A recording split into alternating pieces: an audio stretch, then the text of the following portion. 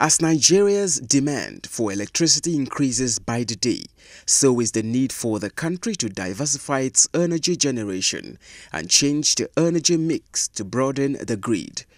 Today, Nigeria manages to generate about 4,000 megawatts of electricity to service an over 170 million population, which is grossly inadequate to considerably advance the economy. This has provoked experts to point towards biogas exploration as one renewable energy technology that is cheaper, cleaner, and happens to be readily available in the country. These experts we have brought are experts that have helped developing nations raise funds to set up their plants. And that is why we are attracted to these experts because they have done it in China, they have done it in Burkina Faso, they have done it in Asian countries. They can do it for us at next to nothing. It is time to move beyond speeches and paper presentations. As participants at the seminar have urged, it is all about starting something and implementation in this technology. Now, the National Biotechnology Development Agency has confirmed an immediate development of a biogas plant model, and relevant authorities have been challenged to trigger the political will to develop such plants at all local government areas and constituencies they represent to generate energy no matter how small.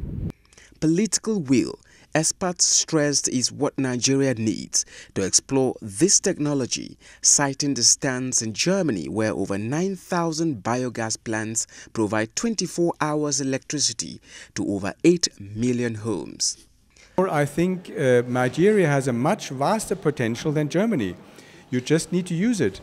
And I think the first and best business cases are the ones uh, where you already have the biomass lying around unused. You have to recognize the potential of, of biomass and you have to recognize the resor- your own natural resources. We want to take this to the stage of implementation. And one of this message we want to drum home in Nigeria is the issue of energy, waste accumulation, waste environmental pollution and unsustainable agriculture, we want to tie up all four and solve it with biogas. The two-day biogas technical presentation seminar is to train experts on the potentials and prospects in the sector for the development of the nation. In Abuja, Justin Bem Unyi, NTA News.